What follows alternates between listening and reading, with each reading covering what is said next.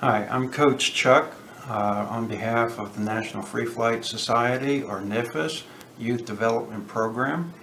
And we're starting a series of uh, helpful videos on various parts of building and flying indoor rubber-powered planes. Uh, myself and Coach Brian have helped on the uh, Science Olympiad forums as well as on Hip Pocket for a number of years and we've identified some areas that uh, uh, are consistent shortcomings in uh, student understanding on building these planes. This first video, uh, we're going to focus on building a balsa wood prop.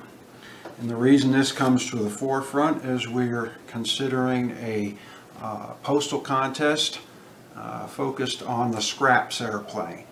This is a small uh, indoor airplane suitable for flying in your living room. Uh, this particular one weighs a half a gram. We're going to have two classes, a half gram and one gram.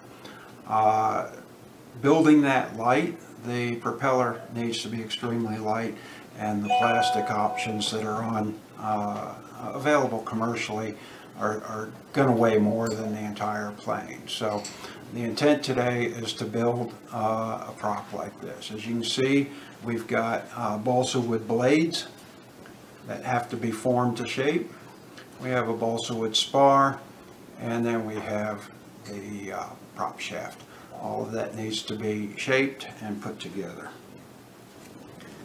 Here's a, another example prop. This is for a limited penny plane. It's a 12 inch uh, span on this prop. But the same construction. We have blades uh, formed from balsa with an airfoil and it's a helical pitch meaning that uh, as you get out to the tip the pitch gets flatter. This has a basswood spar instead of balsa for more strength and a slightly larger diameter prop shaft.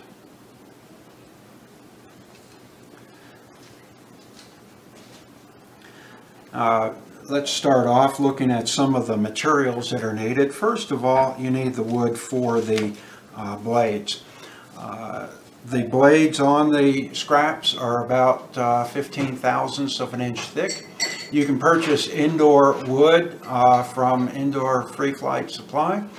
Um, but scraps is intended to use wood you have around the house. Uh, so we can start with 32nd inch hobby store balsa. This is uh, lightweight, uh, under six pounds per cubic foot. Uh, I think this piece is about 5.75 and uh, it should be C grain which uh, gives it a lot of stiffness across the, the piece of wood. You can recognize the C grain by the mottled look of the grain on the surface here. This is a 32nd inch thick, so it's uh, a little more than twice as thick as we need and we'll demonstrate methods to thin that out. We need the spar. Uh, this is a 16th inch square uh, piece of wood, uh, 6 to 8 pound wood. So it's still contest grade, but it's on the heavier end of contest grade. I sliced this out of a, a sheet of uh, seven and a half pound wood. Uh, so we need that. And we need the uh, prop shaft. The uh, prop shaft in this case, I'm using uh, uh, 0.012 diameter uh, steel. Um, and this is what we call a reverse S-hook. That's my favorite uh, prop shaft because the uh, rubber will ride in the middle of the S there and won't tend to wrap around the, the prop shaft. You can use a standard hook as well. The steel wire is available as guitar strings uh, for small quantities and you'll have to straighten it as best you can. Cut off a piece uh, an inch or two long, uh, roll it on a piece of glass and just work it with pliers or with your fingers until you get uh, a piece that's maybe an inch and a half long that's uh, relatively straight. The RPM is not real high on the scraps so it's, it's not uh, absolutely critical to have this straight but get it as straight as you can. You can also buy uh, prepared uh, uh, prop shafts from uh, several sources. And for the scraps, if you're building in the one gram class, you can use 15 thousandths, which is available as uh, K&S wire from your local hobby shop or possibly even Hobby Lobby. Uh, but if you're trying to go for one gram, I mean for half a gram, you need to get the 012 to 013 and guitar strings are your, your best local source for that. Uh, finally, you're going to need uh, some Teflon uh, thrust bearings and it's a little hard to see because they're white but there's a whole bunch of them in this bag and they're simply cut from a piece of uh, Teflon wire insulation. And to cut these, uh, we take the wire insulation and we put it on a, a scrap of our, our steel wire and we put that, here's, here's the wire insulation, we put that in a chuck of a drill and use a razor blade, uh, just touching it every uh, half millimeter or so, and that'll slice off some nice thin pieces. You can also buy uh, Teflon uh, thrust washers uh, from Indoor Free Flight, uh, as well as other sources. but you, you need something between the prop hub and the prop hanger uh, to reduce friction and, and these uh, Teflon uh, beads work the best. Um, as far as tools, you're going to need um, thin CA and you're going to want a capillary applicator. This is simply a scrap piece of balsa wood with uh, two pins. Let's see if I can get it in the image there. Uh, two pins uh, diagonally into it and almost to where their tips touch, maybe a half millimeter or less between their tips right out here. And that allows you to pick up uh, a fraction of a drop of CA. You never want to pour the CA in uh, directly from the bottle. Um, we need a sanding block and this is just a scrap of 1 by 2 with some fine, uh, say 220 grit sandpaper glued to the block. And I've got a second one here. You can't have too many of these.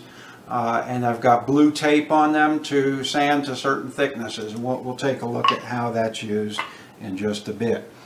Um, we need a smooth surface. I use uh, glass from uh, the, the, back window of a pickup uh, when we changed out the glass for a sliding window. But any sheet of glass, uh, an eighth to a quarter inch thick, uh, works well. Um, we need a prop form. We need to shape the blades.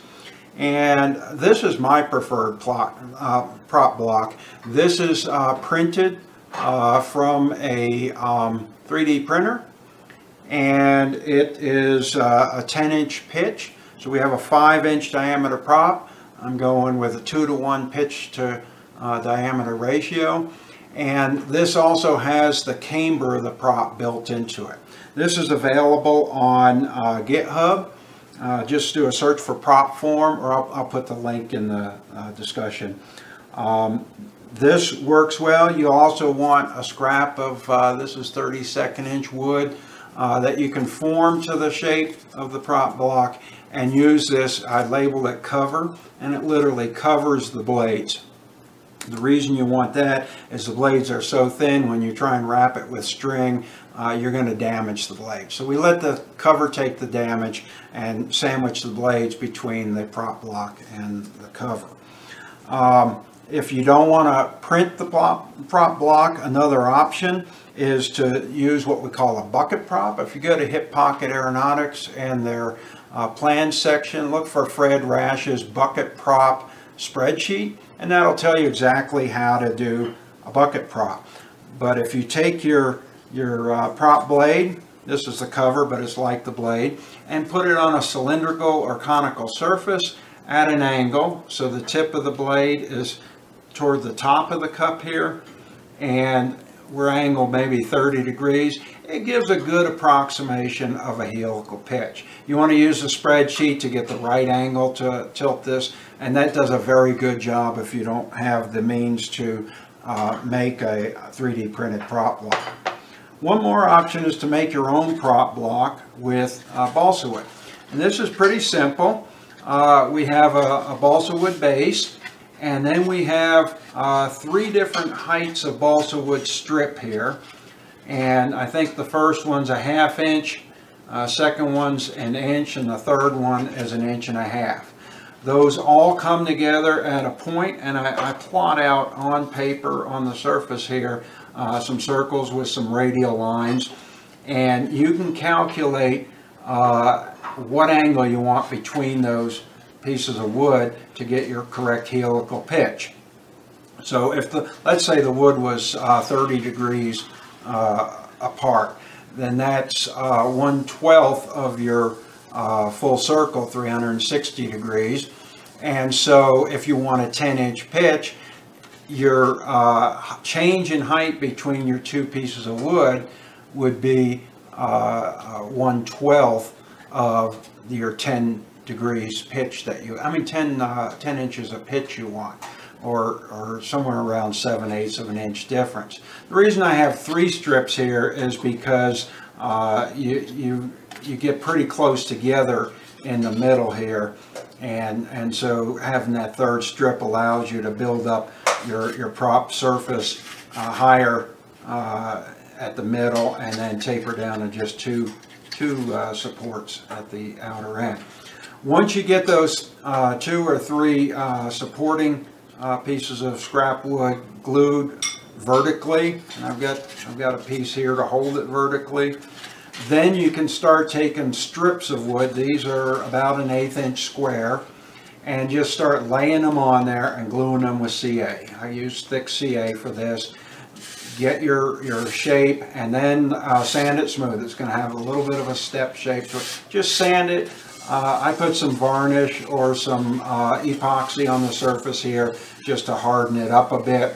And then I drew a, a line right along the lowest of my supporting uh, pieces of wood here. And that line is my um, spar line. And On this built-up um, prop form, uh, your, your core to your prop at any location is a straight line because we built it out of straight segments of eighth inch square uh, balsa. Um, so this doesn't build a camber into your prop, but you can take a, a, piece of balsa about an eighth inch thick in this case. This is for the LPP. Actually, this is for a Science Olympiad one of the years. Um, and you simply round that out. Make an airfoil shape on the top of that and then go ahead and put it on the prop block. Uh, form it to shape like we'll do with the prop blades in just a minute. And then you can tape that down to the prop block and that gives you your camber or your airfoil to your uh, uh, prop blade. So you'll, you'll want to do that if you have a method that's making a, a flat surface for the, the prop. One thing you'll notice on uh, both these props, the LPP as well as the um, scraps prop, is most of the blade area, or all of the blade area in this case, is ahead of the spar. The spar is right at the trailing edge of the blade. And that's done on purpose. That makes this a flaring prop. As the prop tries to turn harder, the uh, aerodynamic loading on it makes it go to a higher pitch if you build the prop symmetrical along the uh, spar, then that won't happen.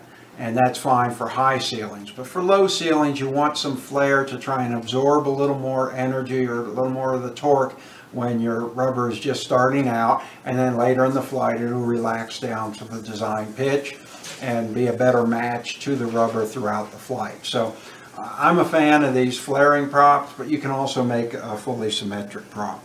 You also want a pitch gauge, and we're going to use the pitch gauge for assembling the prop together. This particular uh, pitch gauge is one that uh, I made some uh, design and posted it on uh, Thingiverse. Uh, so it's available for download again if you have a 3D printer.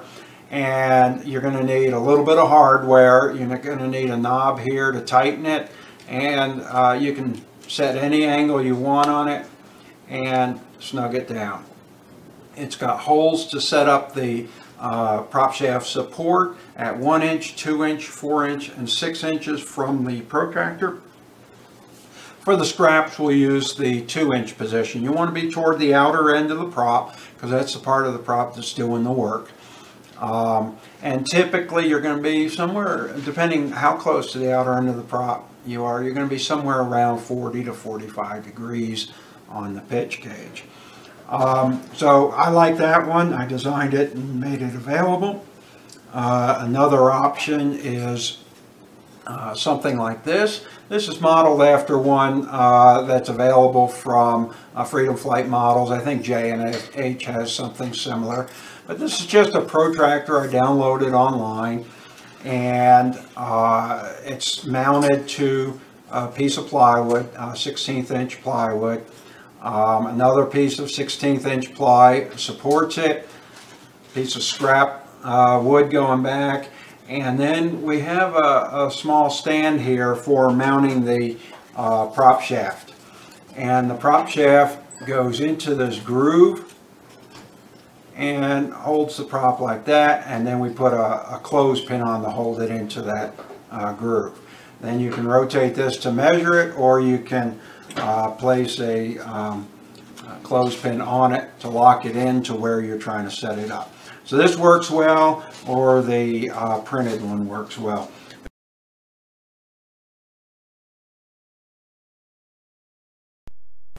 Okay, so our first step is going to uh, be to get the blades out of this piece of wood. And in order to do that, first we need to sand it to thickness. Best to sand it as a full stick, a lot easier that way. And the way we're going to do that is we're going to take our uh, sanding block and we're going to take uh, original Scotch Blue masking tape. This is painter's tape. They have several types available now. I know the original is about 5 thousandths of an inch per layer. So uh, it's also the cheapest. The newer ones, they do different things with the stickiness. And so I have three layers uh, here and here on my sanding block. And the three layers makes it 15 thousandths. You can see it marked 015. Over here I have 025, so I have five layers, but today we're going to use the 15,000, so three layers, and enough space between them to, to fit your balsa. Uh, you're going to then sand the balsa against a piece of glass in order to uh, get it down to this thickness, and the tape will act as a stop, so it'll stop sanding once you get down to the first thing we'll discover when we try sanding down to as thin as 15 thousandths is the balsa gets very fragile. So uh, we're going to do it in a particular order here in order not to crush the piece of balsa. Again, we have our 15 thousandths section there. I've also got the 25 thousandths here. I don't want to sand the 25 thousandths, so I'm going to make sure that part is off the table or off the piece of glass. And I've just got my two sections of 15th, 15 thousandths on the table. Now rather than sanding the entire piece now, I'll just sand the very end of it. I'm going to take short strokes. If you go off the end, you're going to crush it. So you want to sand uh, maybe in circles here, but sand until it stops sanding. And you want maybe three quarters of an inch wide sanded at the end of the piece of wood. What this will do is allow you to tape down the end of the piece of wood and that will make it uh, a lot less susceptible to crushing once you get a couple inches sanded. Um, you're probably going to break a lot of balsa starting out doing this. Okay, there it stops sanding. You can feel it um, not dragging as much once you get to that point. And that end is now about 15 thousandths thick. This um, thickness measurement tool is available at Amazon. It's not necessary, but it, it sure comes in handy. It's maybe $20 or so. And I've removed the spring. You open up the back, take the four screws off, and you'll see the spring you can just unhook, and now just gravity will hold the plunger down. And that way I don't crush the wood.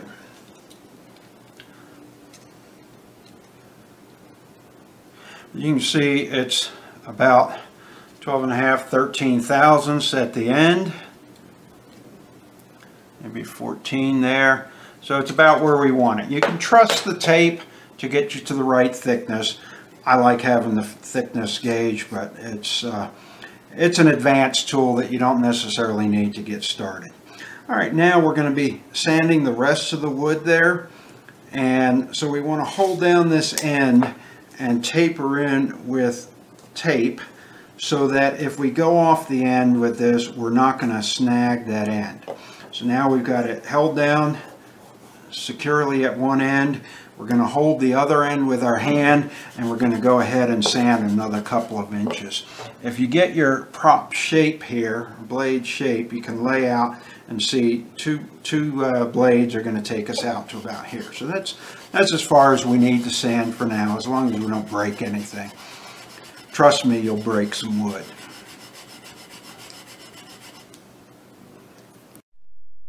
Okay, I've finished sanding it and the last stroke I took, I caught this end of it. I went ahead and sanded the whole thing and you can see I buckled up the whole piece of wood. This is what we were trying to avoid, but it happens. Now, if we lay this on, we can see if we can get, we can get a full blade there and we can get a full blade there. So it's not the end of the world, it's a waste of some balsa. we're at 15 there, 20 or so there, but we're 15 here. We're, we're closer to 20 in here, so I'm going to sand just a little bit more.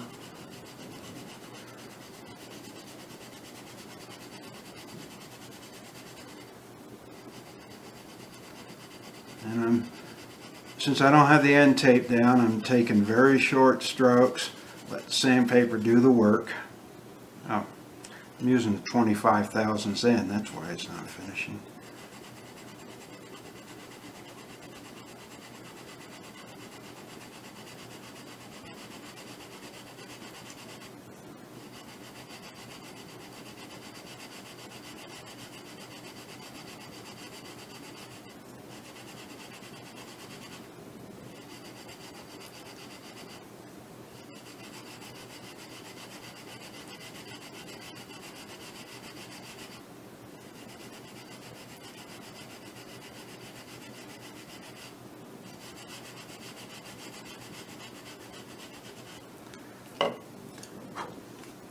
All right, check it out.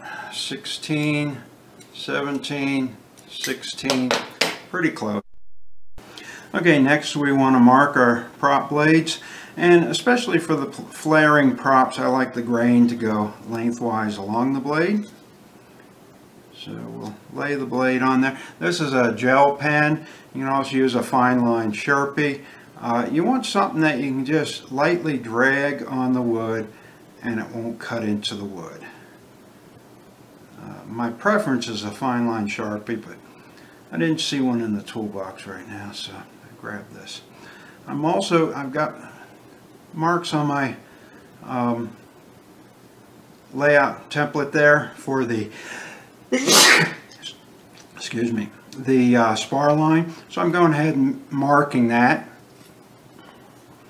And Here's my broken piece. We'll go ahead and find the best location to get a blade out of this.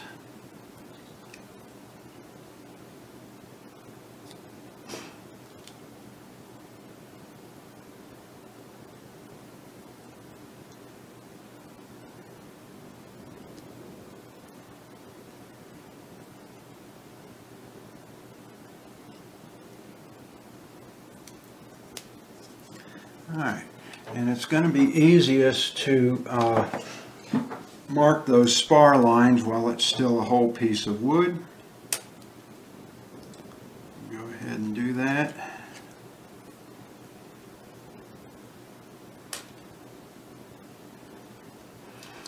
And now we need to cut out the blades. For something this thin, I just use a pair of scissors. Um, the important thing when using scissors is don't try and cut sharp corners uh, with, with the whole sheet there. So what I'm going to do is come in and cut straight cuts until I'm close to the shape that I want. Where there's straight lines, it's not a problem to go in and, and cut the shape. Then as I'm following the curve, the small scrap to the outside breaks up instead of your blade breaking up. There's nothing magical about this blade shape. Um, we do have it mostly flaring. The spar is inboard just a little bit. We have a slightly uh, wider blade in toward the root, and as you get to the tip, it gets a little bit narrow.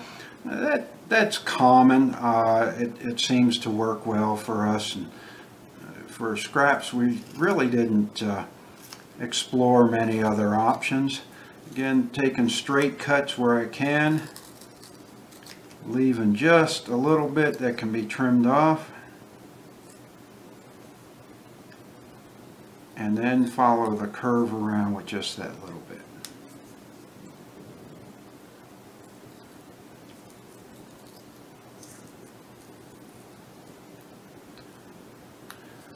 Once you have your two blades, you can put them together and it's more important that they be identical than that they fit a certain shape. So I'll put them together, hold them together, and just lightly sand around the perimeter, just taking off the the corners that the, that the scissors made. Just give a nice pleasing outline to it.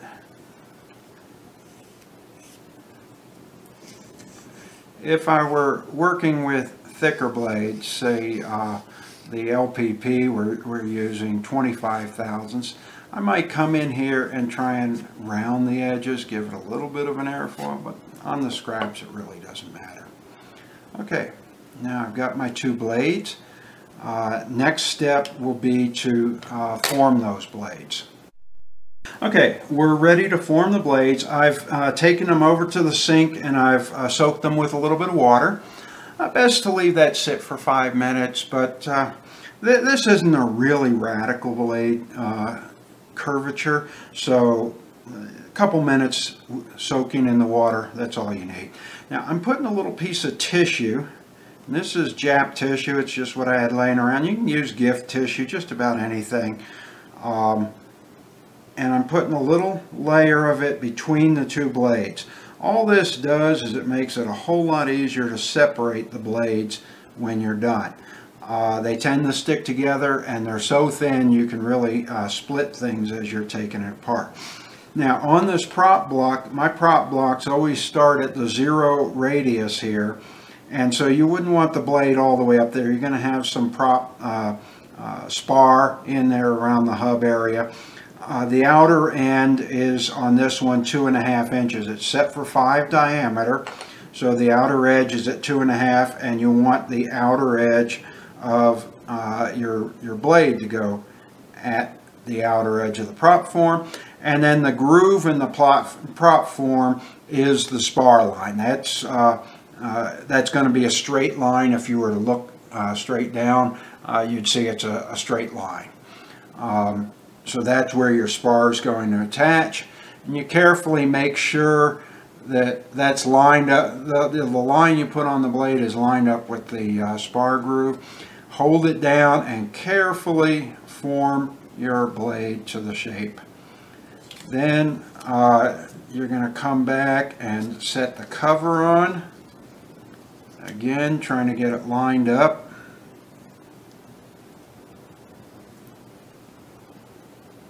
And then you can wrap it with string. Um, you, I like pet wrap, but pet wrap you can only use once and then it goes bad. So uh, we're going to use a rubber band here. The thing with the rubber band is it does absorb some microwaves, and I, I'm lazy. I cook this in the microwave. Uh, you could leave this dry overnight. That's probably preferable but I'm usually building with the kids and um, we need the prop block. So we're going to throw it in the microwave. You want to throw it in a fairly low power. I usually do three, maybe four on the um, uh, heat level and maybe three or four minutes, maybe just two minutes, try it out on this and then put it in a little longer if it's not dry.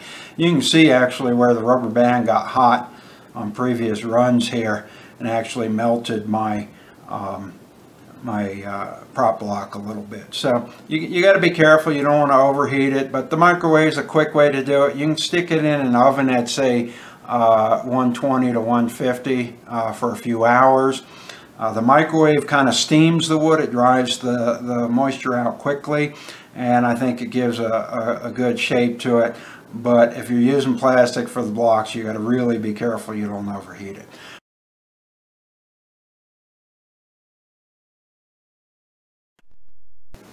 Okay, so we're going to sand the spar now. This is uh, uh, cut down to five inches, so it's the, for the scraps. I like a spar going the full length of the blade, but it doesn't need as much strength out at the tips as it does at the root. So we're going to taper it, uh, double taper it on, on both ends, uh, both in thickness and width. We've marked the very middle so that we don't sand that at all. Okay, this is a replacement part of the original video. Uh, what we want to do on this spar is to taper it from the center where it's a 16th inch square out to the tip at about uh, 25 thousandths uh, thick in both the width and the height. And in fact, when we uh, join it to the blades, it's going to be easiest if this is actually rounded as well as tapered. So it'll be like a large toothpick. Um, in reviewing some online videos from Mike Curda, a, free flight uh, expert, uh, he presented a method that works a lot better than my method, so uh, I've gone to using that. What we have here is a tool uh, that's very simply a couple pieces of, uh, this looks like 3 16 balsa with some uh, medium grit, say 220 150 to 220 sandpaper glued to one surface. And it's as long as the spar, maybe a little longer in this case. And on one of these I've glued two pieces of 16th inch square balsa, could be basswood, and at the other end I've glued a piece of uh, 25 thousandths thick as a stop. Then when I put these two together, we end up with a tapered slot here, 25 thousandths at one end, 60 thousandths at the other end.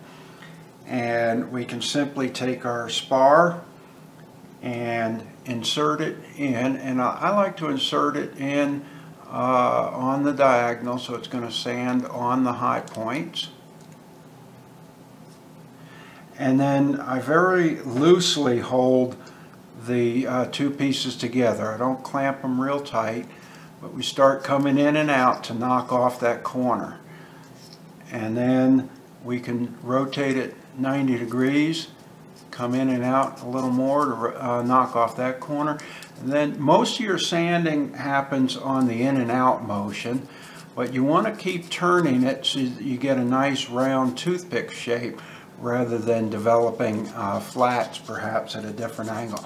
I'm not clamping it very tightly, uh, just clamping it loosely and rotating it as I'm, I'm coming in and out. And as it uh, sands, it's going to close up some. You're going to get rid. You don't want to sand it by rotating like this. You want to sand it by uh, coming in and out.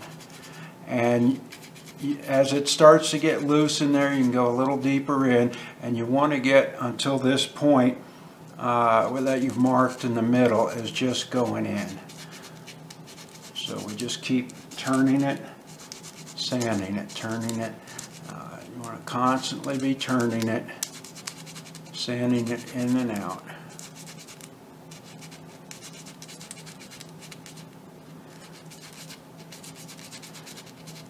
And it's still grabbing in a few spots. This is actually a harder piece of balsa than I'd normally use for the spar. I just grabbed a scrap to demonstrate this new tool.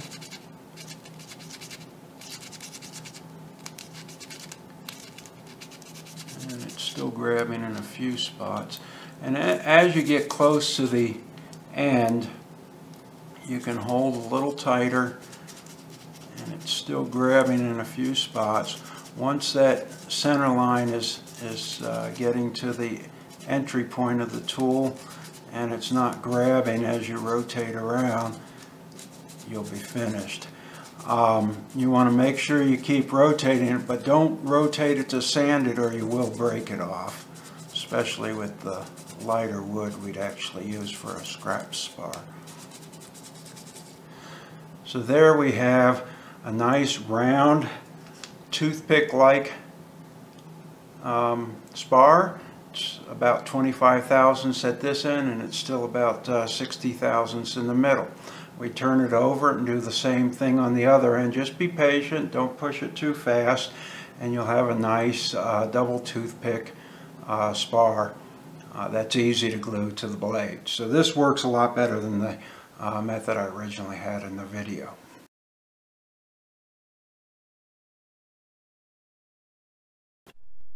Okay, next thing we're going to do is we're going to make a hole for the prop shaft. And I'm just putting this on top of some scrap wood. Hold it down with two fingers. And in this case, I'm just going to take the prop shaft and spin it in there. You can also take a little scrap of your um, prop shaft material and glue that into, say, an eighth inch square piece of balsa uh, to give you a handle. But with this small of a piece, I, I can just drill it in and if it was uh, basswood, I would definitely want to uh, have a handle on it. But that gets the uh, prop shaft through. Let's see if I can get it focused there. Gets the prop shaft through. You want to make sure it comes in and out centered on the, the piece of wood. Okay, our next uh, step is to get the right length between the elbow on the prop shaft and the surface of the spar. And for my, that, that's going to depend on your prop hanger. Uh, for my prop hanger, I want uh, about 12 or 13 millimeters. So I will press that, let's see if I can get it. Press that in and measure it. Press it in a little more. And that's at 13 there. Carefully hold it such that nothing moves. Let me zoom out a little bit. Okay, now with the prop shaft perpendicular to the piece of wood, I'm going to grab with a, a pair of needle nose pliers and I'm going to grab perpendicular to the prop shaft like this and perpendicular to the spar so like this. So it's forming the third axis. And I've got a good grip on it. I don't want the pliers to move at all but I'll slide the piece of wood away and then I'll come in here and I'll push with my thumb to get a sharp 90 degrees right against the plier. You don't want to curve this part because that's your prop shaft. You want to get this angle in the wire right at 90 degrees. And that looks good there. Now you want to cut that off.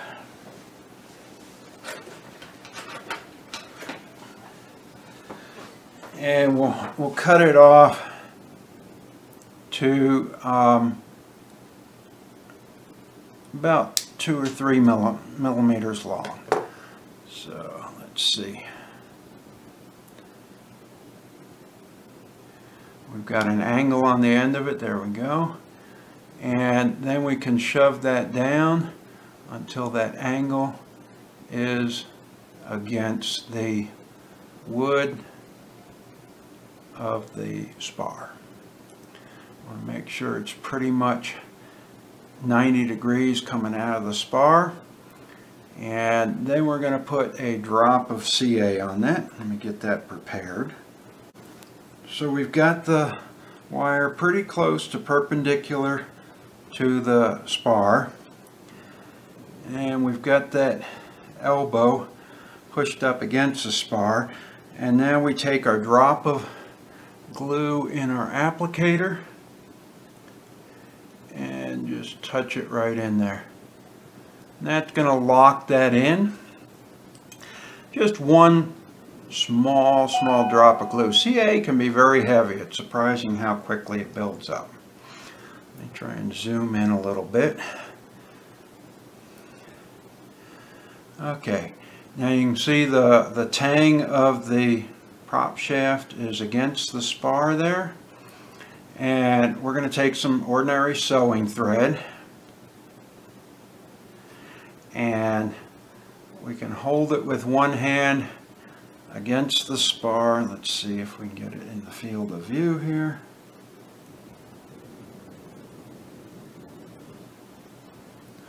Working on it. Here we go. And then we're going to put two wraps around and then we can let the spool of thread hang. Let me zoom out a little. I'm having a hard time here. So we have two wraps of thread around here and it's toward the tip of the tang. You don't want it toward the root because you don't want to get it tangled in where the uh, prop shaft is going to go through the prop hanger. Again, get a, a drop of CA with your applicator and just touch it to the thread. Uh, if necessary, come around to the other side. I'm using a beige thread, but it looks kind of white there until the, the glue wets it, and then it looks uh, more gray. And then we can just cut that off. And the other free end off.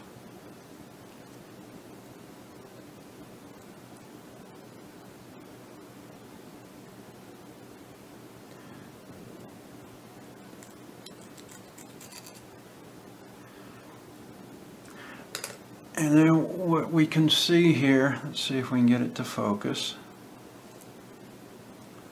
We've got a wrap of thread out toward the outer end of that tang and that just locks it in and we don't have it getting into the corner here with the prop shaft where it's going to tangle up uh, with the uh, uh, prop hanger.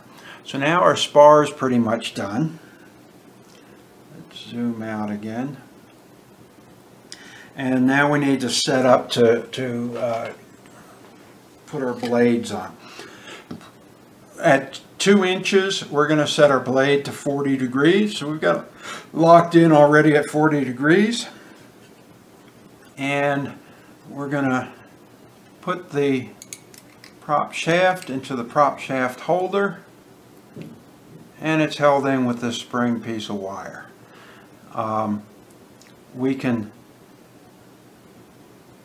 let me go ahead down the closer to zero degrees we can turn the prop shaft around completely and make sure that the uh, spar is passing over the protractor at about the same height on each side. If it's not, you can carefully bend it. It means you're not quite square at your um, uh, prop shaft.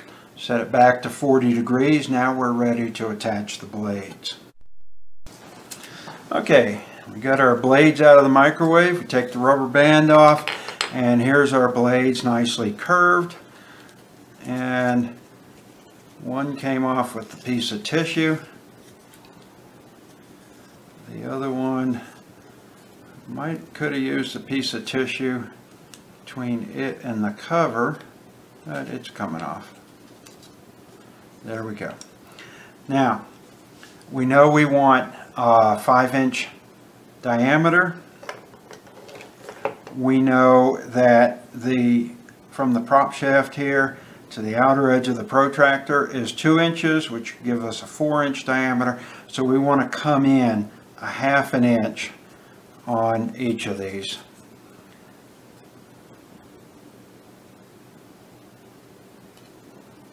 and go ahead and mark it half an inch from the tip And again, it's most important that they're both identical. And mark them at the spar line.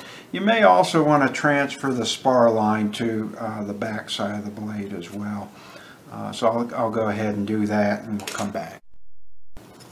Okay, so I've got the spar line on both sides of the blade and I've got the little tick mark there at a half inch in from the tip. Now comes the juggling act. We want to get the spar to the center of the protractor and then we're going to put the blade on with the concave side down and against the spar. Now in this case we really have the spar going out to the tip of the blade so that gives us a second reference there. Um, but I'm going to lay the spar right along the spar line and make so the um, tick mark is right at the outer edge of the protractor in here. And I'm supporting everything. And then I want to rotate the blade until it just touches the protractor at both ends of the blade. Um, you want to get that close. That's going to set your pitch angle. You can make adjustments later, but you want to get that close.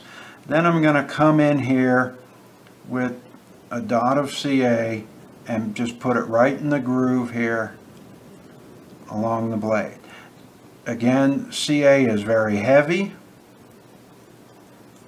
so you want to minimize what you're using on here. This is thin CA. I don't use thick CA for anything. It's liquid lead. I know other people do, but when you're when you're working on something that's going to only be a half a gram, uh, you can easily put a half a gram of glue on it if you're using thick CA. Okay, so we get that blade on. Now we can pull the blade, the, the prop off and then put it back on because the, the blade, the spar won't make it past the protractor if you don't do that. And we'll repeat for the other side. Make sure the fat end of the blade is going in toward the hub and the thinner end is out at the tip. So again, stand up, see if I can get an angle on here. Laying the spar along the spar line and getting that tick mark right at the outer edge of the protractor. This takes a little practice. You don't want to press with a lot of force here and take the camber out of the blade because then you'll have the wrong angle on it. I like to put a dot at the inner end, dot at the outer end, double check everything, and then you can run a couple of dots along the length of the spar to lock it down.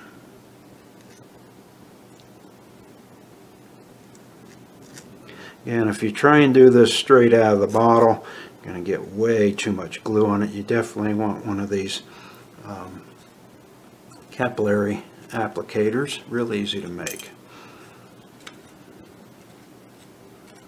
Okay. We take our prop off and take a look at it. Make sure we got a good glue bond everywhere. Everything looks pretty good and our spar is just a little bit long. We're actually a, a little, we probably could have used the tip of the spar to set the length. Uh, we set it a little bit inside of that, so this prop is a little bit undersized. That's fine. We'll just clean up that spar.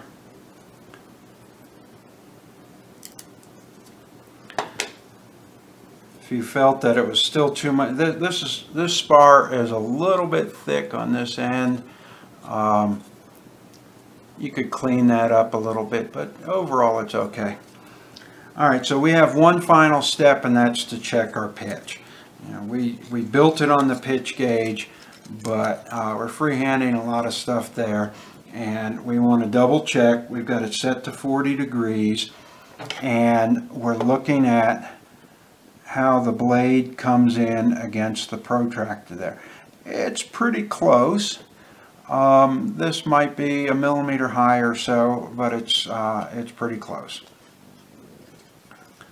So now take the prop out, flip it 180 degrees, and check the other end. And on this end, we're quite high. So we've got too much pitch on this blade. We need to twist it down a little bit. Now you could just grab it and twist the wood. Um, that's going to um, uh, either damage the wood in here or it's going to take the twist out eventually. So what I like to do is wet this area a little bit and then hit it with a heat gun while I'm applying a twist to it. Okay, so I've wet the spar right in this area a little bit so that when I twist it and then dry it, it's going to hold to shape. Now I'm going to come in here. You don't want to twist the blade, so grab the spar pretty close to the middle and you're going to over twist it because it will spring back a little.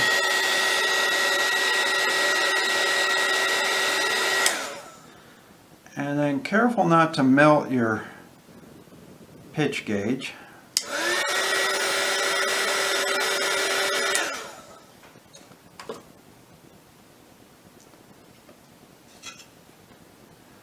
And you can see now the blade is about like the other one was, almost touching on, on both ends of it. So uh, we've got the blade trued up in pitch.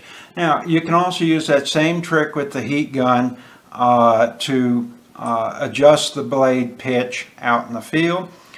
Remember the, the helical shape of this was formed on a prop block that's set for uh, 10 inches of uh, pitch. And if you look at the two inch column of numbers on here, uh, we get 10 inches at about uh, 39 degrees of pitch. So we set it to 40 degrees in round numbers. We're pretty close to 10. You don't want to deviate from that, but at 35 degrees it's 8.8. At 45 it's um, looks like 12.6.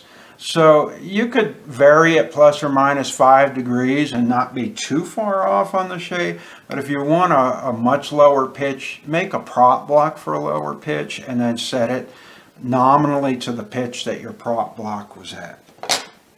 So now, the only thing left on this uh, prop is to put some uh, Teflon bearings onto the shaft in order to reduce the friction between the shaft and the um, prop hanger.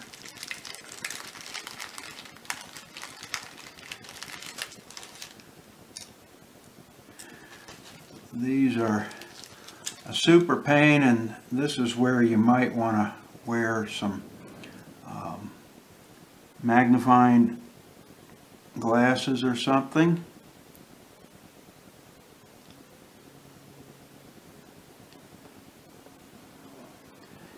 If you can get a piece of Teflon picked up,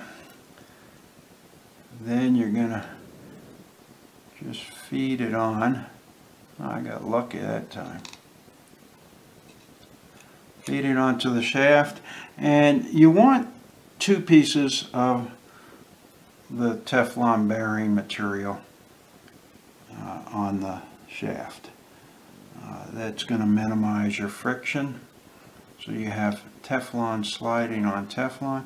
And you can see I, I really did get lucky on the first one. Um, my eyes are not as good as the kids' eyes. They can put these things right on. Okay, I got the second one on there.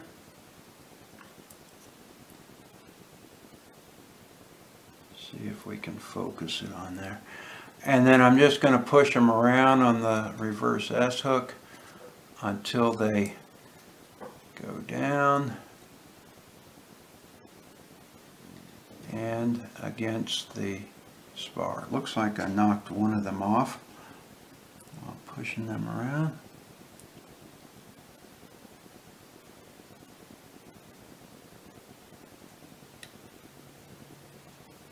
And look at that. Got them both on there. So we got two Teflon beads up against the prop. That way when the rubber is pulling back, it's going to have a nice smooth surface there to spin on.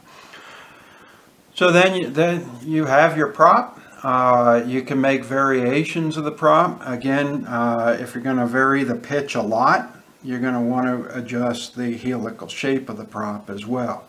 If you're using a prop block, that means uh, forming a different uh, prop block. Uh, if you're using a um, uh, bucket prop uh, on a cylinder or on a, a, a conical shape, you're going to want to rerun the spreadsheet to find out what angle on what size cup or cylinder uh, will give you the closest to a helical uh, shape. Uh, but there you have it. Uh, if you enjoyed this video, let me know in the comments if there's uh, uh, things you like changed about the video. It's easy enough to edit. Let me know that in the comments.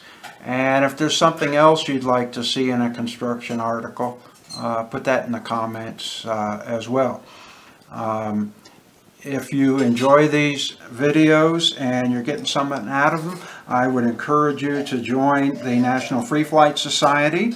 Uh, not only will you get a very fine magazine, but we're putting together a lot of tools to support uh, youth in the hobby. And they also have some uh, scholarships available uh, for members. So I encourage you to look at that uh, for membership. Uh, look at every chance you can to compete, especially for our youth. Uh, if you can uh, go to uh, an AMA contest, you're going to find that uh, experienced pilots are more than willing to help you out in trimming your plane and flying your plane and encourage you on the way. So look at uh, the Free Flight Society, that's uh, freeflight.org, uh, and uh, look at their uh, calendar of contests, see if there's a contest coming up in your area. Uh, we'll also be putting together a, um, a mentors portal, a portal to match students up with NFFS members as mentors in their regional area. Uh, so that, that can help you with some hands-on assistance.